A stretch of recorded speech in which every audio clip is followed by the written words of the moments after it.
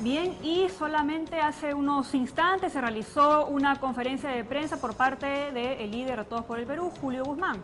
Vamos a escuchar lo que dijo el candidato, el ex candidato ahora de Todos por el Perú.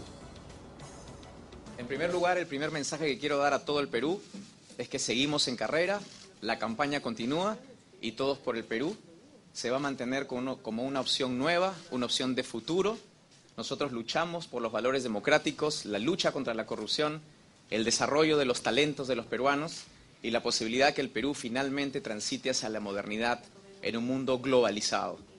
Así que vamos a continuar en campaña, seguimos en carrera. Eh, si vamos a apoyar a otro candidato, creo que la respuesta está clarísima, ¿no?